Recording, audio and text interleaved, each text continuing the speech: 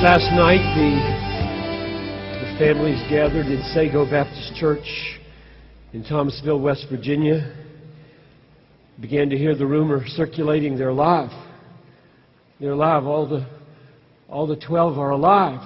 And so the USA has the headlines. They're alive. They're not alive. Dead.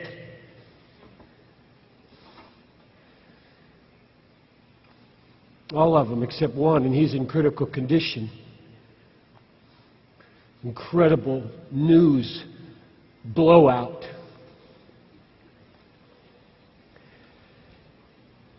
Fifty-two dead in Iraq yesterday. Thirty-two of them at a funeral. Floods in California.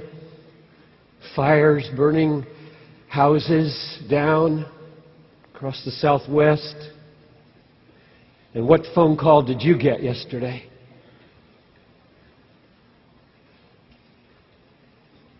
Let me soak you before I pray with a series of Bible verses just so that the, the feel of this message and where it's coming from will be on you. Matthew 16:24 Jesus said to his disciples, "If anyone would come after me, let him deny himself and take up his cross and follow me." If anyone would come after me, let him deny himself and take up his cross. Thank you for the cross, his and ours. If they have called the master of the house Beelzebul, how much more will they malign those of his household? Matthew 10:21 Brother will deliver up brother to death and father his child. Children will rise against parents and have them put to death, and they will be hated by all for my name's sake. The one who endures to the end will be saved. John 16:1 The hour is coming when whoever kills you will think he is offering service to God. Every radical Muslim believes that when he kills a Christian. 2 Timothy 3:12 Indeed, all who desire to live a godly life in Christ Jesus will be persecuted. You want to be godly? It's coming your way. There's no other way. 1 Peter 4:12 Beloved, do not be surprised at the fiery ordeal that comes upon you. It's no surprise to test you as though something strange were happening to you. It's not strange. Rejoice insofar as you share Christ's sufferings, that you may also rejoice and be glad at His glory. If you are insulted for the name of Christ, you are blessed because the Spirit of glory and of God rests upon you. Romans 8:16 the Spirit Himself bears witness with our spirit that we are the children of God, and children and heirs, heirs of God, and fellow heirs with Christ, provided we suffer with Him, so that we may be glorified with Him. I count the sufferings of this present time unworthy to be compared to the glory that will be revealed. It's coming. If you haven't had it yet, it's coming if you walk with Him. If you walk with Him. Philippians 1.29 For it has been granted to you that for your sake you should not only believe, but suffer. It's granted to you, it's given to you, it's a gift to you with a big bow that you will suffer. 2 Timothy 1 8. Therefore, do not be ashamed of the testimony about our Lord or me, his prisoner, but share in suffering for the gospel, for the power of God. One more, Acts 5:41. They left the presence of the council, Peter, John. They left the presence of the council rejoicing that they had been counted worthy to be shamed for the name.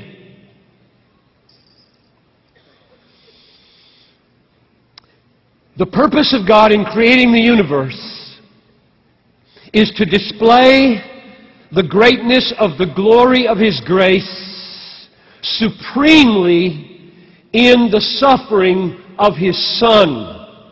That's yesterday. Today, the summons. Will you join the Son in displaying the supreme satisfaction of the glory of grace in joining Him on the Calvary road of suffering because there's no other way the world is going to see the supreme glory of Christ today except that we break free from the Disneyland of America and begin to live lifestyles of missionary sacrifice that looks to the world like our treasure is in heaven and not on the earth. It's the only way. The prosperity gospel will not make anybody praise Jesus. It will make people praise prosperity. Of course I'll have a Jesus who'll give me a car who wouldn't want a Jesus who gives me health, a car, a fine marriage? I'll take your Jesus if the payoff is right. It's not the way you're going to win your campuses. Dressing the coolest, driving the coolest, typing on the coolest. It's not going to get any praise for the suffering Christ. He calls you in this service, in this conference, in this life, in this world, in that newspaper world. He calls you to another way. Let's pray. Father, help me to lay open the biblical foundation for this, the hope that is in it, the glory that is in it, the power that is in it, the call that is on us from it. Help me. Give us a mind, O oh God. Give us a mind. Let this mind be in you, which was also in Christ Jesus, who did not count equality with God a thing to be grasped, but emptied himself, taking the form of a servant. And being found in human form, became obedient unto death, even death on a cross. Let this mind be in us, O God. Create this mind in this room right now, I pray. In Jesus' name, amen. I loved, while he lived, Richard Wurmbrand, the Romanian who was in jail for over a decade in Romania in, uh, because of the communists. And he told a story one time about a Cistercian monk. It's one of the orders in the Catholic Church who was interviewed by Italian television. And this is the order that is totally silent. They sing together, they confess sins to one another, and they never talk any, any other time. And a TV interviewer asked the monk, and if you were to realize at the end of your life that atheism is true, that there is no God, tell me, what if it happened that way? And here's what he responded Holiness, silence, and sacrifice are beautiful in themselves, even without promise of reward. I still would have used my life well.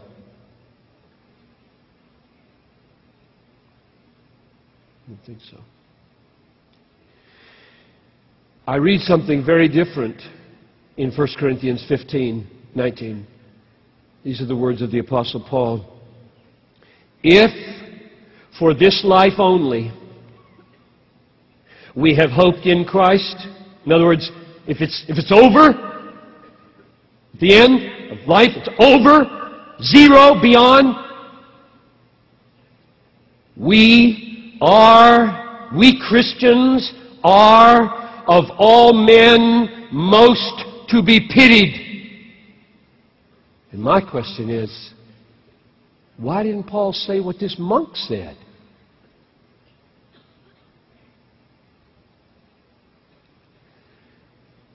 Isn't it the good life?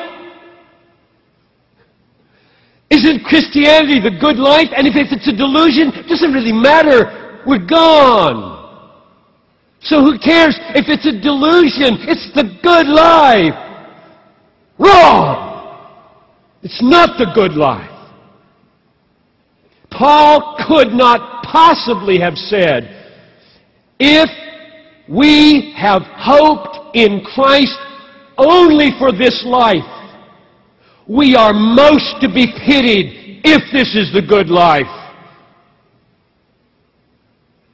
Oh, how wrong we've got it in America. It's really hard to be a Christian in America. Really hard. It's about the hardest place in the world. We, we have convinced ourselves that the psychological benefits of believing in Jesus, the relational benefits of believing in Jesus, the prosperity benefits of believing in Jesus, the health benefits of believing in Jesus, make a pretty good life so that if it proves to be wrong in the end, no big deal. It's been a good life. It's so different from what Paul said. So different. What's wrong with Paul? What's wrong with you? If there's no resurrection, we are of all men most to be pitied. I mean, look around. What's to be pitied? School, right? It's a big room. It's got air conditioning and cool music, and we're clothed and we're all well, and what's to be pitied if it's false? Been a good life. See you later. No, won't see you later. Well, the answer that Paul would give to what's wrong with you, Paul, is I have freely chosen to take so many risks with my life in the cause of serving my King that I suffer way more than I would choose to suffer if I knew this was false. There's a better way to maximize pleasure on the earth than being a Christian. I'm a Christian hedonist. There's a better way to maximize pleasure on the earth on the earth than being a Christian. Paul said, in fact, verse 32 of chapter 15 of 1 Corinthians, if this is not going to be followed by a resurrection and reward and seeing the Lord Jesus and having everlasting, infinitely growing joy, then let us eat and drink for tomorrow we die. And when he said, let us eat and drink, he didn't mean let's all become drunks and gluttons. They are to be pitied in this life as much as Christians if there's no resurrection. The way to maximize the pleasure in this life is not become a drunk and a glutton, just become middle class. Just drive a nice car, have a nice house and have nice clothes, nothing exorbitant, no drunkenness, and, and just, just kind of the middle, middle this, this is the way forward if there's no resurrection. Just like most Christians live.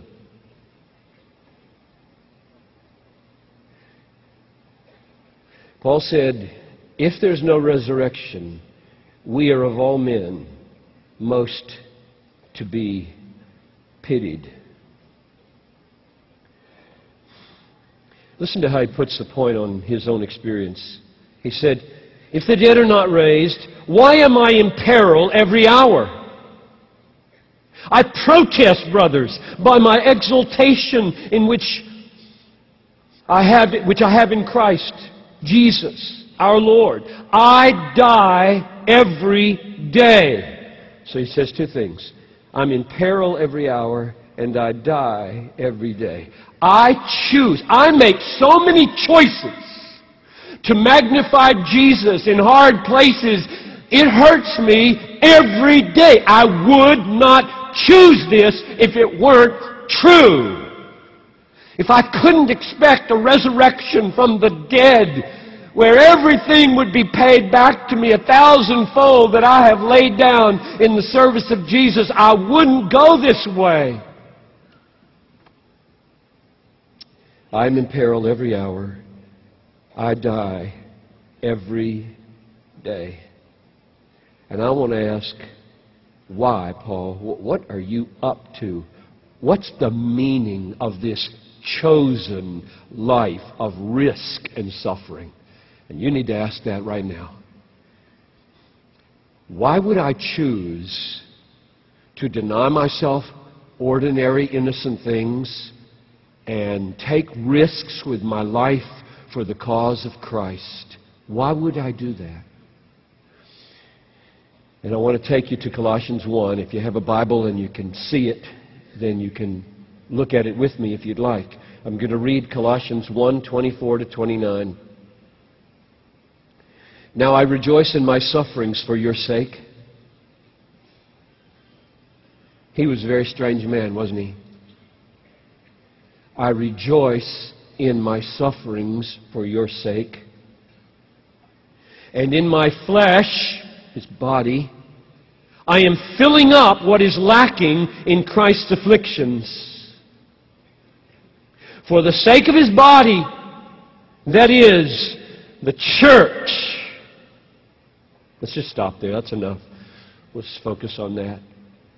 I rejoice in my sufferings for your sake, talking to the church. And in my flesh, I am filling up what is lacking in Christ's afflictions for the sake of his body, that is, the church. That's almost heresy. Almost. To say, in my body, my fallen sinful body, I am completing or filling up what is lacking in the sufferings of Christ? That's almost heresy. It would be heresy if he meant the sufferings of Christ lack something in their atoning worth. In the death that he paid for sin, there's not enough there. I'm going to add the rest so that the world can have an atonement that is sufficient for their sins. That's heresy. And that's not what he meant. What did he mean? What did he mean when he said, In my body? What would you mean if you walked out of here tomorrow and said, All right, I am, God helping me, going to fill up what is lacking in the afflictions of Christ on my campus or among the unreached peoples of the world. What would you mean? You really should be able to say that. I hope you will. I think what you should mean is not that you add to the atoning merit or value or worth of the death of Christ, but that you add the extension of that suffering to those for whom he died in your own body and suffering. Let me show you where I'm getting that. You can just listen or you can follow if you want. There's a parallel statement to this Colossians 1:24 in Philippians 2. The situation is that the Philippian church loves Paul. Paul is in prison in Rome, hundreds of miles away. Epaphroditus says, I am willing to take the offering and the blessing that we as a church want to show, the love that we have for Paul, we want to show. So Epaphroditus takes whatever it was, we're not told, it could be money, it could be books, could be food, whatever, clothing, and he takes it to Rome, and he almost dies. He suffers in doing this. He suffers in extending the love of the Philippians to Paul. And then you have this sentence where Paul encourages uh, people to praise such a one as Epaphroditus because he came close to death for the work of Christ, risking his life to fill up what is lacking in your service to me. He said that to the Philippians. You got almost exactly the same wording in Philippians 2:30 as you do in Colossians 1:24. Almost exactly the same wording. I fill up what is lacking in the sufferings of Christ. Epaphroditus fills up what is lacking in the service of the Philippians. Now, what was lacking in the service of the Philippians? Listen to this commentator, Marvin Vincent. I think he gets it exactly right. He says, the gift to Paul was a gift of the church as a body. It was a sacrificial offering of love. What was lacking was the church's presentation of this offering in person. This was impossible, and Paul represents Epaphroditus as supplying this lack by his affectionate and zealous ministry. I think that's exactly what Colossians 1:24 means. Let me say it like this.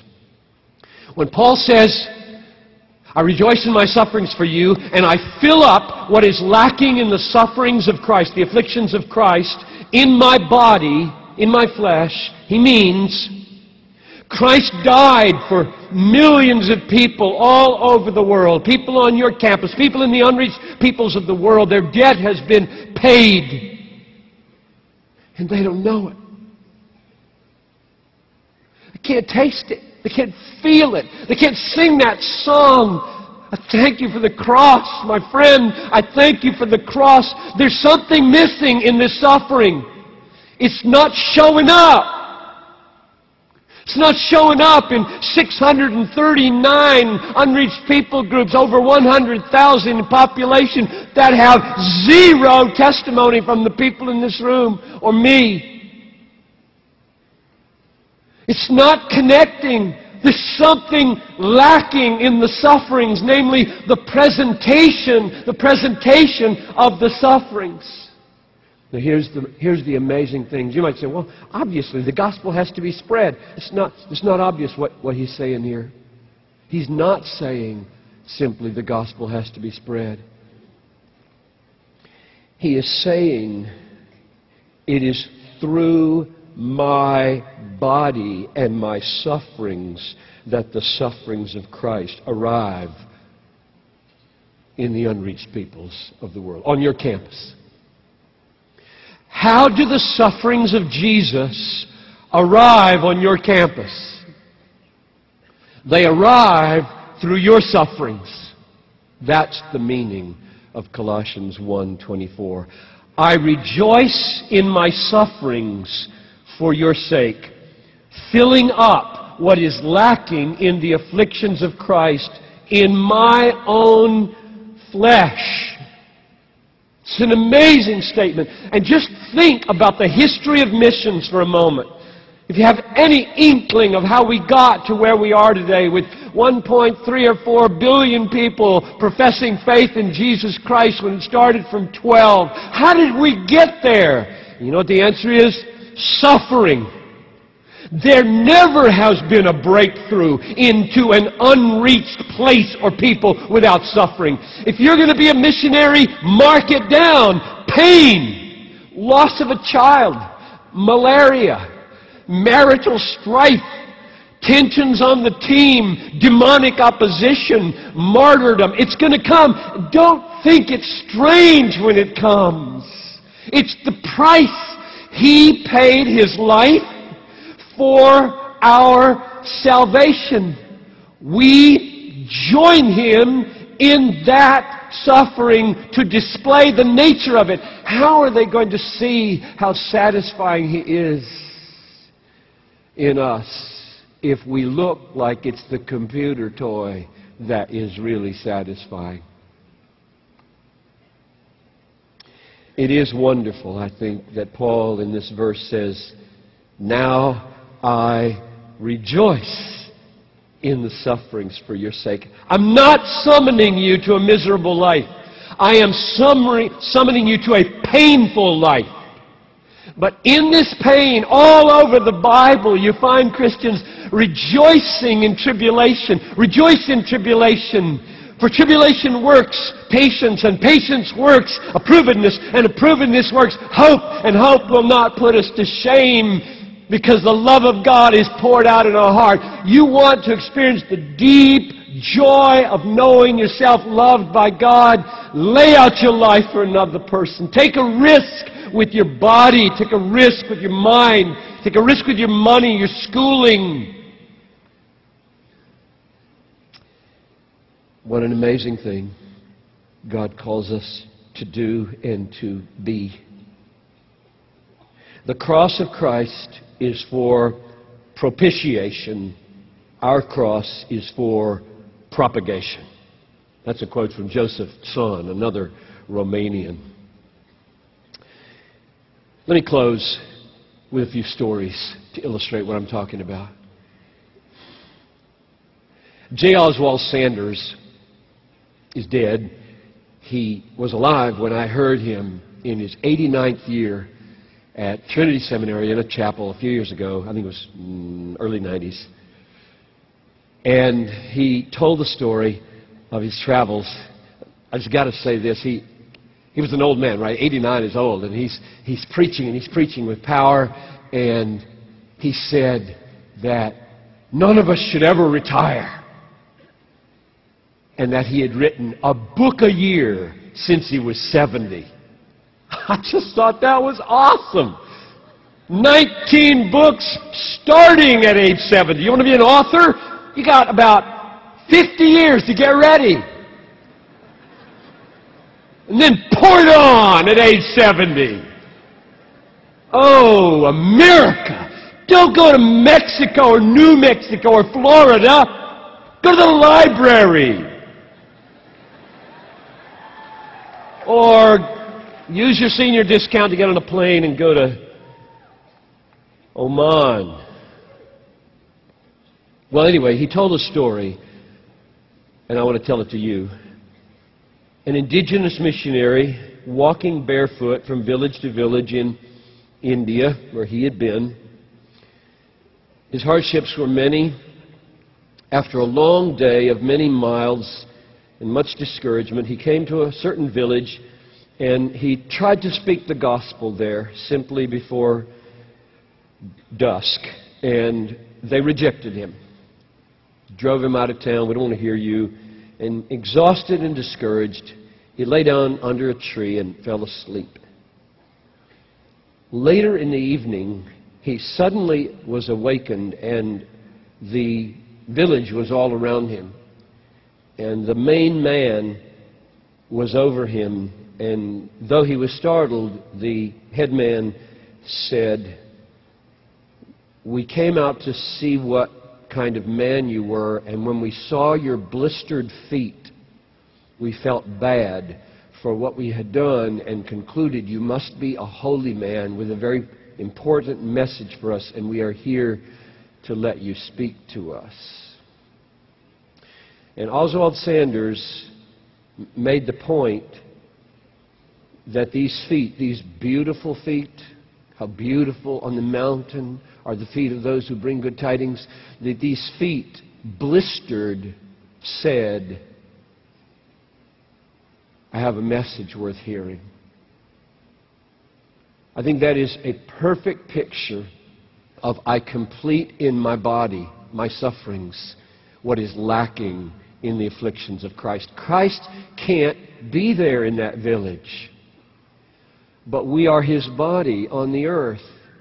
And Christ has mainly a, a suffering to offer the world, and he means for the missionaries to offer themselves to the people. Here's another one. Billy Graham had an itinerant evangelist conference in Amsterdam, I think 1990. A Maasai warrior showed up there who was an evangelist. And Michael Card, who lives here in town, singer, wrote this story up in a magazine that I read. And let me read it to you because it's even more dramatic than the other one. One day, Joseph, this is the Maasai warrior who showed up in Amsterdam from his tribe.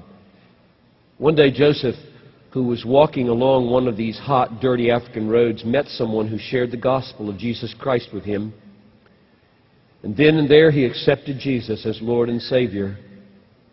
The power of the Spirit began transforming his life, and he was filled with such excitement and joy that the first thing he wanted to do was return to his own village and there share the good news to the members of his own local tribe.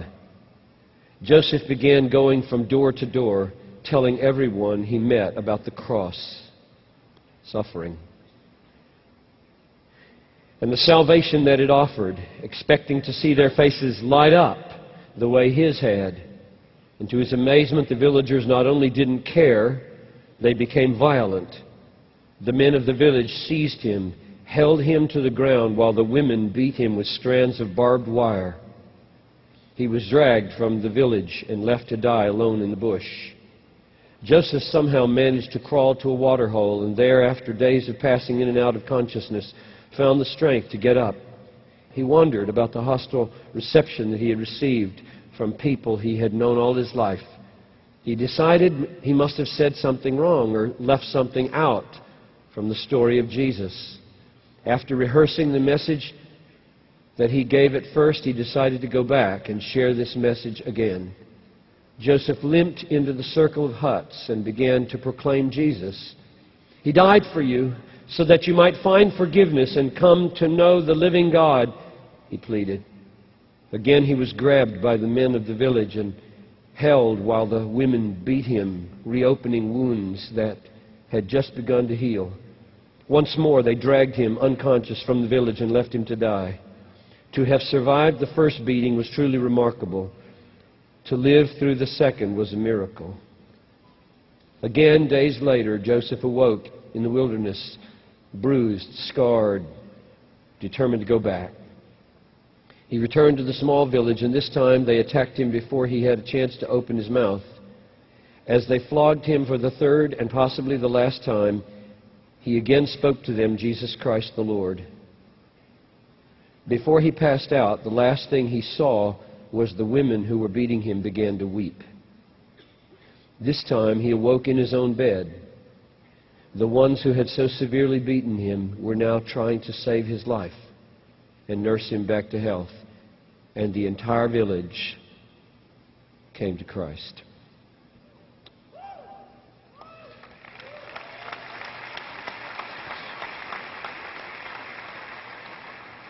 I think that's an example of what Paul meant by Colossians 1:24. I rejoice in my sufferings on your behalf, and I complete what is lacking in Christ's afflictions in my own body. One more story. It's almost impossible for us to appreciate the story of the widow's mite. You remember all the rich were being generous out of their wealth as they put in their money in the temple and a widow who had two coins came along and she put them both in. And Jesus was watching, and he says to the disciples, she, she put in more than everybody else put in. You don't have to be a great person, a wealthy person, a smart person to make a tremendous impact for Jesus. She put in everything. Now, almost everybody would say, that's just stupid. How's she going to pay her rent? Prudence is common in local churches. Be prudent, be careful, don't take too many risks, like putting in everything you have. Well, we can hardly imagine that in this country, but here's an illustration and a story from Haiti that is a modern day version.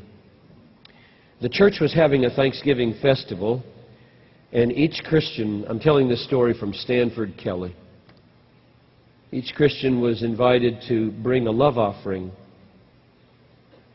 at Thanksgiving. One envelope from a Haitian man named Edmund held $13 cash. The amount was three months' wages for a working man there.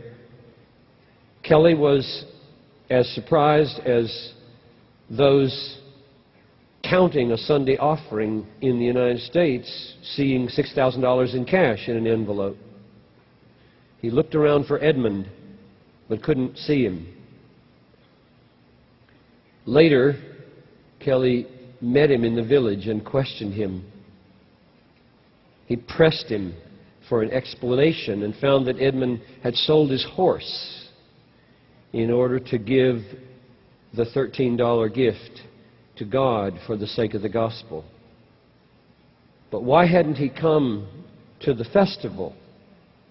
He hesitated and didn't want to answer. Finally, Edmund said, Because I had no shirt to wear. The aim of God in creating the universe, creating all 18,000 of you, the aim of God in creating all of you and your parents and your schools and this world, the aim of God in creating you was to display the greatness of the glory of His grace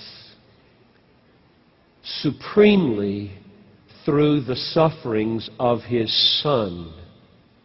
And then the Son said, Anyone who would be my disciple, let him take up his cross, let him, let him take up his cross and follow me.